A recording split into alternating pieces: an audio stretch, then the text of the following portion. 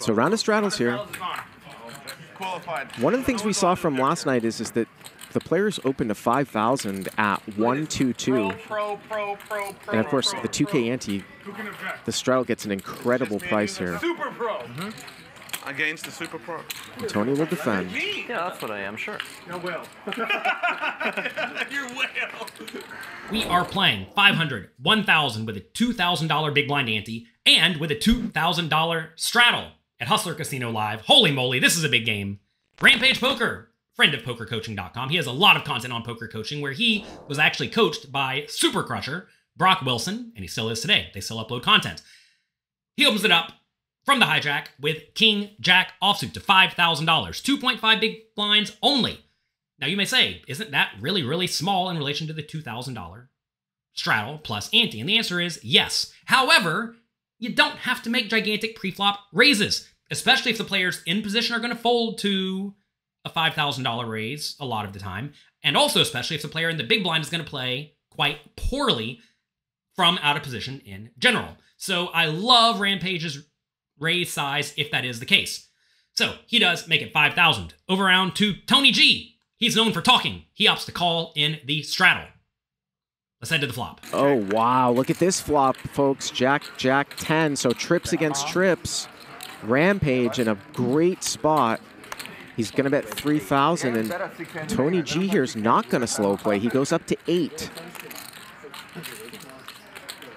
This is what we talk about, the boards cooperating. It's kind of been slow the last few nights, but this one could get big. Rampage going to bet 3-bet trips. Tony G, check raise to 8, bet 3 bet to 25,000. Oh my goodness, Tony, what's he doing here? Is he just to call? So 63.5. Flop comes Jack of clubs, Jack of spades, Ten of hearts. There's no more jacks in the deck because Tony G has Jack 9 and he is smashed by Rampage's King Jack. Tony G checks. Rampage goes for tiny $3,000 bet, as he very often should on paired boards in general, especially when Tony G has a lot of trips in his range, which he certainly could. Tony G bumps it up to 8,000. Rampage is having none of it. He makes it 25,000. They're battling back and forth. Tony G thinks, hmm, maybe I don't want to lose a million dollars on this hand. He decides to just call. Let's head to the turn. Here, Feeling ugly stuck. big brick on the turn, Bet 25,000. and a little donk lead here. Pretty unorthodox. Check raise, 3 bet, and Tony G just going to poke out here with a donk lead on the turn. No raise? Kind of, I don't know if it's No. freezing Rampage, but he just like it. called. Turn is the three of spades, a complete brick. Unless Tony G randomly has the jack three or the pocket threes, which maybe he'll have every once in a while. Tony G decides to make, as the commentators say, a very unorthodox lead for 25,000. He's probably thinking, please just call, please just call, please just call, please just call. Because when Rampage just calls, Jack Nine's almost always good. Not this time, but almost always. And if Tony G gets raised, well, can you let it go? I don't know. You all know that Rampage is known for his massive punts. I think his official name is actually Rampunts Poker, not Rampage Poker. And uh, yeah, I don't really think you can fold Jack 9 against Rampage, so maybe you're just making the pot bigger in a spot where you very easily could be crushed. Whatever. He goes 25,000, and Rampage at this point is thinking, maybe I could be beat. Tony G is also known for some rather unorthodox plays, as we see here. And I mean, look, I wouldn't put it beyond him to bet 25,000, get raised, let's say 100, and then just rip it all in for a million. Now, I don't think that's what's going to happen every time or anything like that, but it could happen. And imagine you have the King Jack in this spot, and Tony G just puts it in for a million. He could easily have you crushed with pocket tens or ace jack, right? And that would be a nasty spot. Anytime you have to put in a million dollars, 500 big blinds effective, counting the straddle, with anything that's not the nuts, you're not loving it. So, look, I think Rampage can probably justify raising on this turn purely because there is now a turned backdoor flush draw available that Tony G could have that you don't really mind pricing out. Plus, Tony G could easily have a draw and be trying to set his price or whatever he's thinking in his mind, and the draws are going to have some equity, right? So I think making it something like 75 or 80 in this scenario is perfectly fine. I realize a lot of action has happened already. Remember, it was bet, raise, re raise, on the flop. So ranges should be good, but whenever you're playing deep stacked, battling cash games, you never really know what's happening. So anyway, Rampage does opt to just call and be a little bit cautious. Let's head to the river. River here is a queen, and now Tony here is going to check.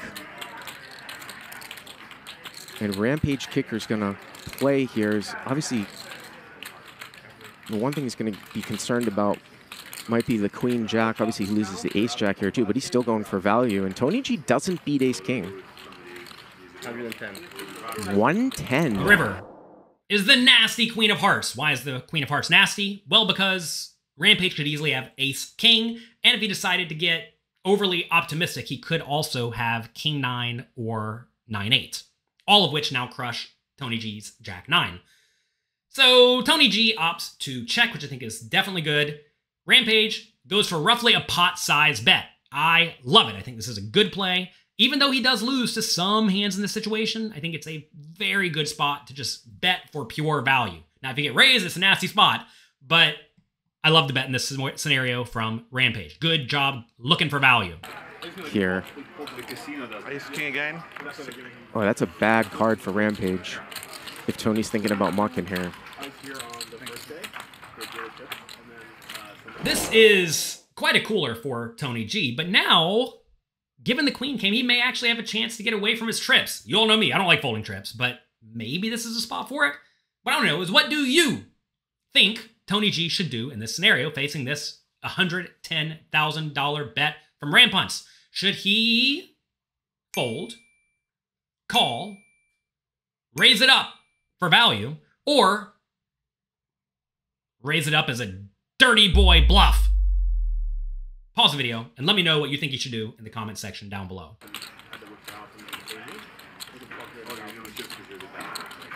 Rampage might have wished that he had maybe bumped it up a little bit on the turn.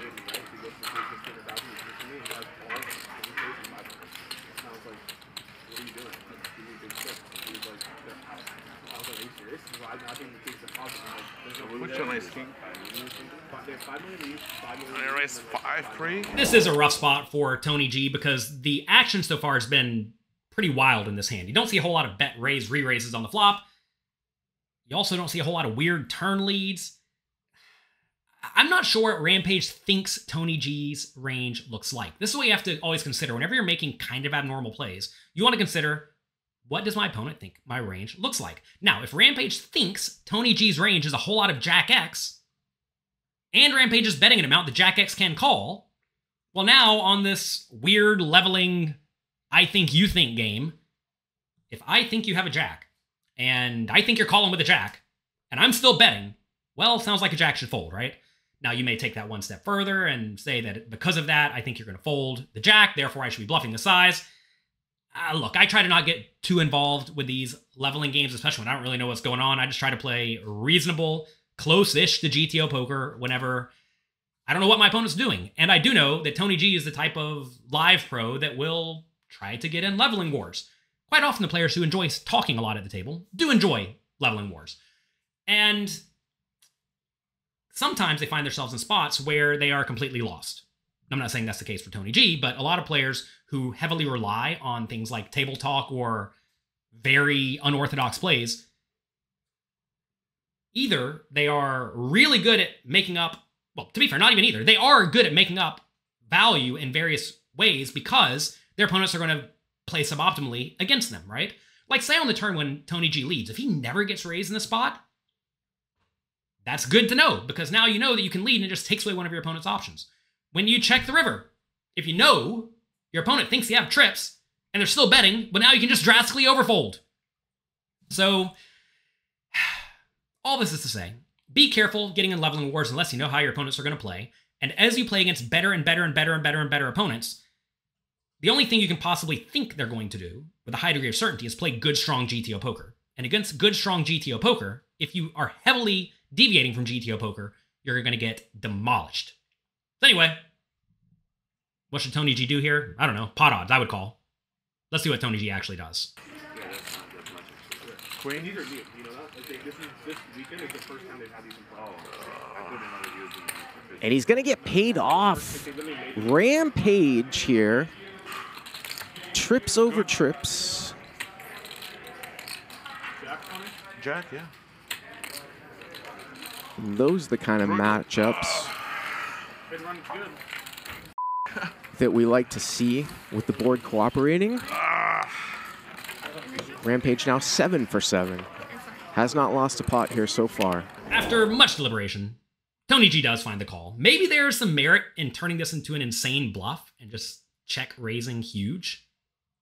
I think that could be pretty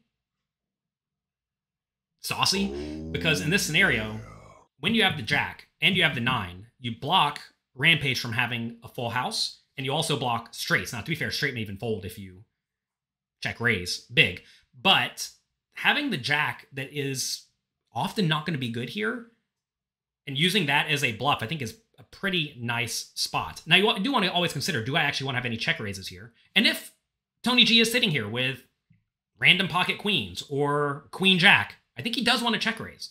So you want to find some bluffs. And in this spot, I do think the jack is probably the most relevant card. Maybe you actually want to have a hand like jack four in this scenario instead of jack nine, because when you have jack four, you don't block some bad straights that Rampage could have, king nine or nine eight, that would value bet the river, but then fold to a raise.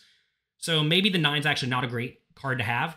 But if Rampage is going to bet with king nine and then call a raise every time, then you'd obviously much rather have a nine, right? So I'm not exactly sure how that nine blocker interacts here.